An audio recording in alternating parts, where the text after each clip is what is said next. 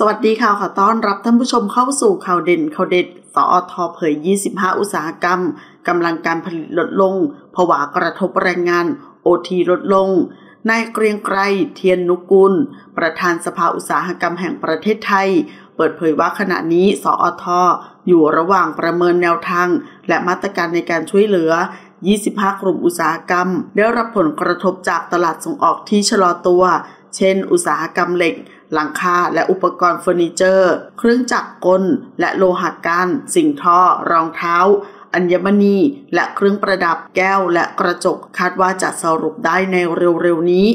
นอกจากนี้คณะกรรมการร่วมภาคเอกชน 3 สถาบัน กกรได้ประเมินทิศทางการส่งออกของไทย ปี 2566 ที่จะเติบโตระดับ 0%ถึงติดลบ 1%เนื่องจากตลาดการส่งออกของไทย ได้รับผลกระทบจากเศรษฐกิจโลกชะลอตัว ซึ่งส่วนหนึ่งเป็นผลกระทบจากสงครามรัสเซียยูเครน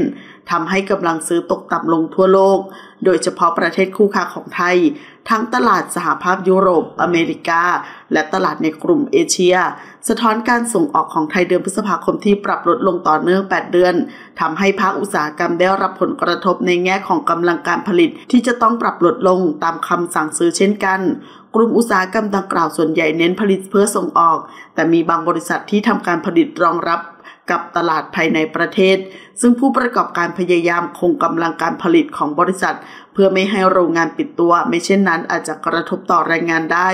และเป็นการผลิตเพื่อรักษาสต็อกสินค้า และเริ่มทยอยปรับลดกะการทำงาน ปรับลดค่าล่วงเวลาบ้างแล้ว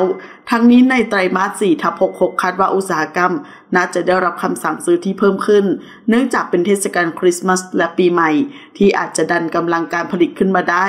ซึ่งผู้ส่งออกต้องมองหาตลาดใหม่ทดแทนตลาดที่กำลังซื้อถดถอย โดยเฉพาะตลาดที่มีอนาคตอย่างกลุ่มประเทศความร่วมมืออ่าวอาหรับหรือ GCC กลุ่มเอเชียใต้ และกลุ่มเอเชียกลาง ขณะเดียวกันอยากให้รัฐบาลไทย เร่งเดินหน้าทำข้อตกลงเขตการค้าเสรี หรือ FTA ไทยและ GCC ซึ่งจะช่วยกันผลักดันให้สินค้าอุตสาหกรรมไทย กระจายไปต่างประเทศเพิ่มขึ้น ขอขอบคุณข้อมูลจากมุมข่าวขอบคุณค่ะ